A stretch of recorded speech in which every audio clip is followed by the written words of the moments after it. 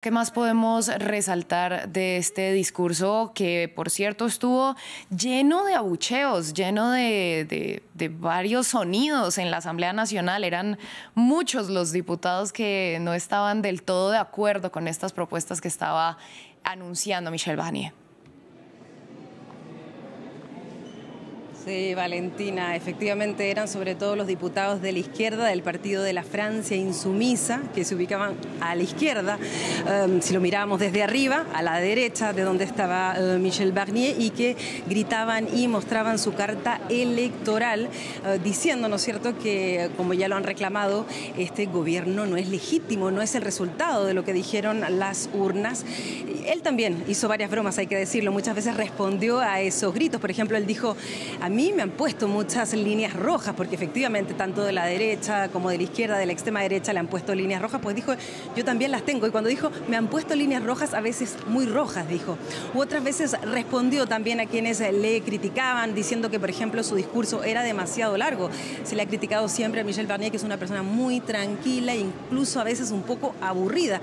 Y efectivamente, este discurso que tenía que durar una hora duró una hora y media. Pero básicamente, como tú decías, lo más importante, esas dos espadas de Damocles que dijo tiene Francia encima suyo, la deuda económica y la deuda ecológica y toda una serie eh, de anuncios no muy detallados, pero que tenían que ver con lo que adelantábamos más temprano en el tema económico, obviamente apretar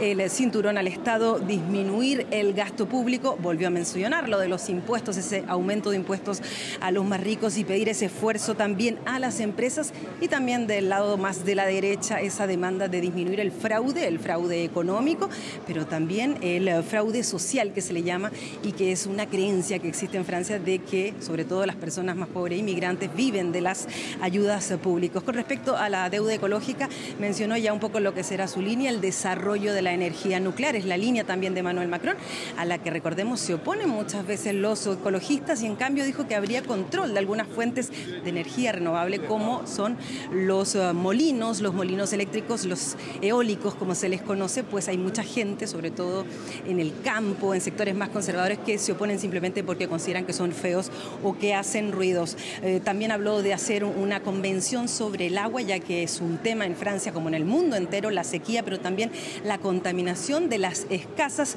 fuentes de agua. Y luego también habló de la necesidad de mejorar la manera de gobernar en general. Hay que decir que este discurso estuvo lleno eh, de llamadas de atención o de invitaciones a los diputados a tomar en cierta forma en sus manos también la responsabilidad de participar en una Asamblea Nacional dividida y el hecho de trabajar, escucharse, respetarse y no entrar en las rivalidades porque él es consciente de que así su gobierno no va a avanzar. Por eso dijo que él ya se había reunido, por ejemplo, con los sindicatos y es ahí cuando tocó el tema de la reforma de las jubilaciones, lo mencionábamos más temprano también. Hoy hay una gran manifestación que había en un inicio sido convocada para el 1 de octubre, día del presupuesto. Normalmente hoy tenía que discutirse, pero finalmente, recordemos, fue aplazado. Pues él mandó un mensaje a los sindicatos, dijo vamos a ver esta reforma, si bien él es partidario de mantenerla, de quizás arreglarla en algunas em, situaciones, las carreras largas, las carreras eh, más difíciles. Y también mencionó esa participación, esa idea de crear un día o dos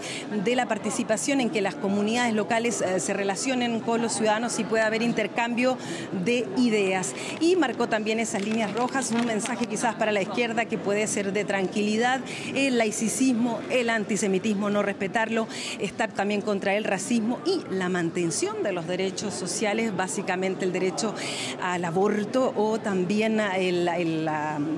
ayuda maternal, la maternidad asistida para las mujeres solas o las mujeres lesbianas y el matrimonio homosexual que se podía poner en duda ya que gran parte de su gobierno ¿no cierto?, viene de la derecha más extrema o la derecha más a la derecha. Y luego habló de cuatro puntos importantes, el nivel de vida, allí mencionó la necesidad de hacer más eh, préstamos con tasas de interés más bajas para los franceses, generalizar el préstamo a interés cero, construir más la vivienda es un tema realmente importante para los franceses, mejorar los servicios públicos. Propuso, por ejemplo, un programa Hipócrates para que los nuevos médicos franceses y europeos vayan a aquellos lugares donde hay de ciertos médicos, también obviamente habló de la educación, mi colega me, me movió la cámara, vamos a intentar arreglarla, se veía venir eh, de la educación, la necesidad de hacer más atractivo, esa es generalmente una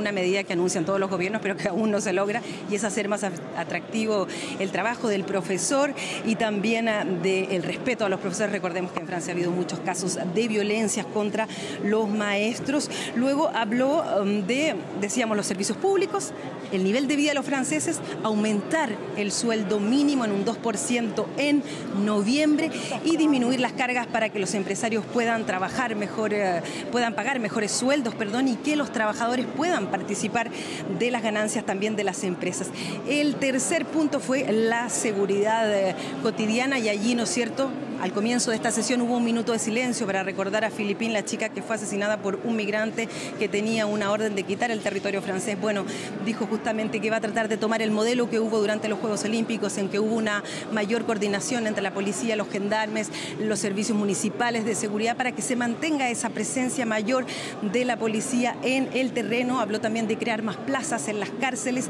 y también de aumentar las penas y también, sobre todo para los menores delincuentes reincidentes, tomar medidas específicas para que realmente esas penas se cumplan. Y el último punto más importante fue el de la inmigración. Recordemos que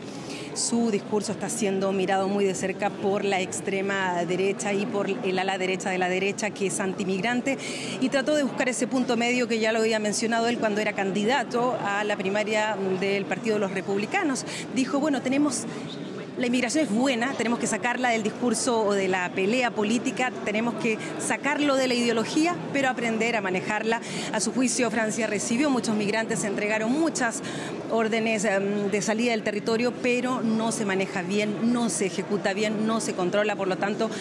eso, en eso va a consistir sobre todo el trabajo de su gobierno, en manejar mejor la inmigración de manera más ordenada, responder más rápido a las demandas de asilo, entregar esas decisiones eh, más rápido y también ejecutar mejor esas órdenes para abandonar el territorio francés, francés perdón, y también dijo aumentar el control en las fronteras y poner ese pacto migratorio europeo que recordemos saca todo lo que es la gestión de las demandas de asilo y eh, de entrada al territorio, lo saca de territorio europeo y lo lleva a terceros países, pues él también se mostró de acuerdo. Un último punto dedicado a la política exterior, habló eh, de Palestina, habló de los rehenes eh, del 7 de octubre, que hay que seguir trabajando para liberarlos también habló de que su postura es la de una solución a dos estados en Palestina. También dijo que Francia iba a seguir al lado de Ucrania y sus últimas palabras a nivel internacional fueron para la crisis actual en el Líbano, un aliado muy importante de Francia, donde viven muchos franceses además y que la colaboración seguirá siendo plena en ese sentido. Y como los decía, al final nuevamente esa mirada de los diputados, tenemos que escucharnos, tenemos que entendernos, tenemos que mm, trabajar por el orgullo de ser franceses, por posicionar nuestro país. Para hacerlo tenemos que estar unidos, tenemos que respetarnos. Los invito a asistir a la Unión Europea, a, estar allí presentes, a seguir las discusiones para ver cómo se puede poner mejor el nombre de Francia, un poco esa idea de recuperar la grandeza eh, perdida, pero como les digo, compartiendo la responsabilidad, la suya, pero también las de los parlamentarios que están sentados en ese hemiciclo.